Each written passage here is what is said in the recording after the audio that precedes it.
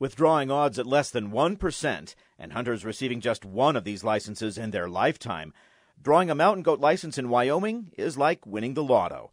The Wyoming Game and Fish Department and Idaho Department of Fish and Game are keeping that dream alive for hunters by sharing population data and doing regular surveys of the Palisades goat herd on the Wyoming Idaho border of northwest Wyoming. Researchers want to know more about the animal's movement and distribution between the two states, along with the goat's reproductive success.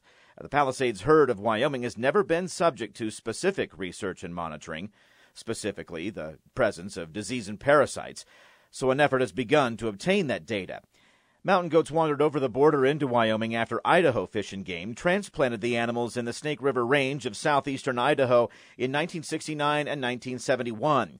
By 1996, Hunt Area 2 in Wyoming was created with a population objective of 50 goats. Aerial surveys from 2010 and 2012 now show as many as 130 mountain goats in that region. Management has been conservative. Only between four to eight licenses a year have been issued since 1999. As mountain goats have since dispersed into Grand Teton National Park and adjacent Wyoming bighorn sheep hunt areas, their presence in these areas presents the potential of resource competition with and disease transmission to bighorns. To assess these potential risks, up to 20 mountain goats, two years of age or older, will be captured. Blood samples are being taken to test for the presence of a pathogen found in both bighorn sheep and mountain goats that can cause pneumonia.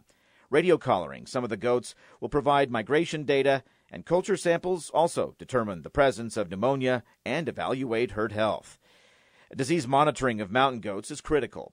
Palisades herd occupies an area where dispersal into bighorn sheep habitats is occurring so the potential exists the animals could harbor infectious diseases that might also impact bighorn sheep. Migration, interstate movements, and summer distribution data will be valuable for managers to document and evaluate, not only to keep bighorn sheep and mountain goat populations healthy, but also keep the dream of drawing a license alive for hunters. This is Ray Hageman with the Wyoming Game and Fish Department.